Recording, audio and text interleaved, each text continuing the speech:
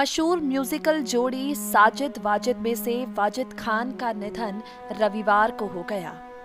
वाजिद के आकस्मिक निधन से बॉलीवुड के गलियारों में शोक की लहर दौड़ पड़ी। सेलिब्रिटीज सोशल मीडिया पर वाजिद को याद कर रहे हैं।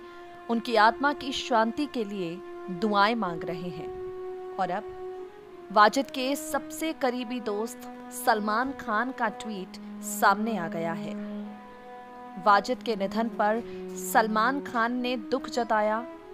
ट्वीट करते हुए सोशल मीडिया पर वाजिद को अंतिम विदाई दी और अंतिम विदाई देते हुए संदेश में लिखा, वाजिद के लिए हमेशा प्यार और सम्मान। वाजिद तुम्हारे टैलेंट और शख्सियत के लिए तुम्हें हमेशा याद करूँगा।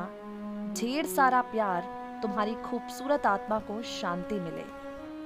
आपको बता दे वाजिद साजिद की जोड़ी के साथ सलमान का हमेशा से ही रिश्ता खास रहा है।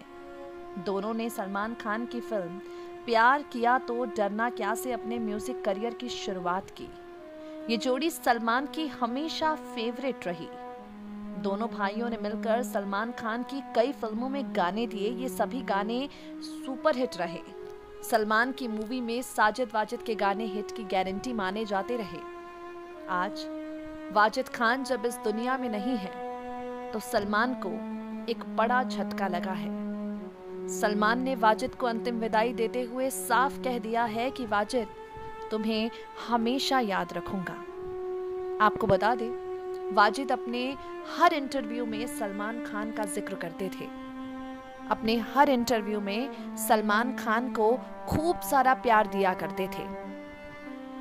नेक्स्ट नाइन न्यूज़ से मेघा की रिपोर्ट।